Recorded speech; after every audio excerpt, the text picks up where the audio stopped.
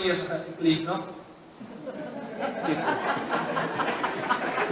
Het is geen, in aansluiting op wat de directeur net heeft gezegd. Ik leef nog. De berichten zijn heel angstaanjagend.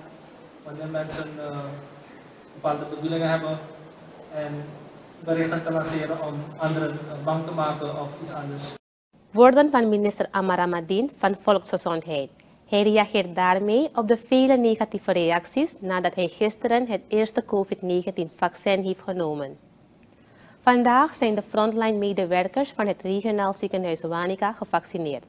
De bewindsman wijst erop dat de gemeenschap zich ervan bewust moet zijn dat bescherming in deze COVID-19-pandemie zo snel als mogelijk moet komen. Hij zegt dat reeds is bewezen dat het dragen van een mondmasker, het houden van de sociale afstand en de handen op tijd wassen niet voldoende bescherming bieden tegen het virus. Vanuit de medische wetenschap is het heel duidelijk dat die bescherming alleen kan komen door je immuniteit een boost te geven en te prikkelen, je immuunsysteem te prikkelen, om zelf nu de bescherming in het lichaam op te bouwen. En als heel veel mensen in de wereld dat gelijktijdig doen, dan heeft het virus eigenlijk steeds minder ruimte om te bewegen. Zo moet je het zien. En daarom is het heel belangrijk, en eigenlijk was ik al op het pad van, op het gebied van Dr. Harkison, maar ik denk dat ik het goed heb uitgelegd. En we hebben gisteren een kick-off gehad. We hebben in totaal 33 personen als kick-off uh, gevaccineerd. En we zijn eerlijk, we zijn heel transparant. Ik moet zeggen, het is na het vaccineren het was geen roze geur en maneschijn zoals ze dat noemen. Er zijn mensen met bijwerkingen geweest. De rapportages komen nu binnen.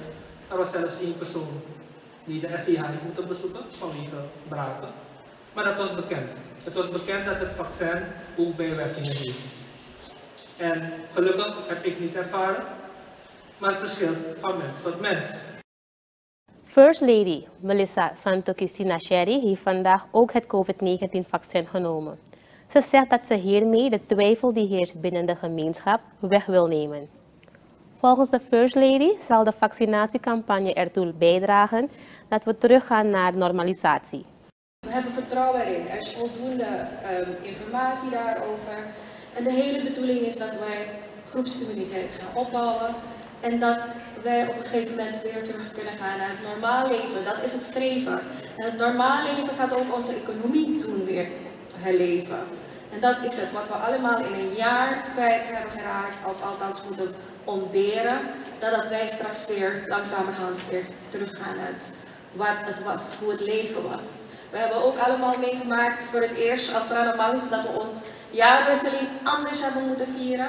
Dat, was, dat is een van de dingen die we misschien tegen eind van het jaar, hoop ik, um, zoals we het gewend zijn kunnen doen. En zo beginnen we het uh, binnenlands bericht, uh, binnenlands nieuws met een uh, verslag van Richelle Maknak. U zag de First Lady Melissa Santoki Shinacheri, minister Amar Ramadin, liet weten dat in de loop van deze week er ook een begin zal worden gemaakt met het vaccineren van de frontline medewerkers van de andere ziekenhuizen.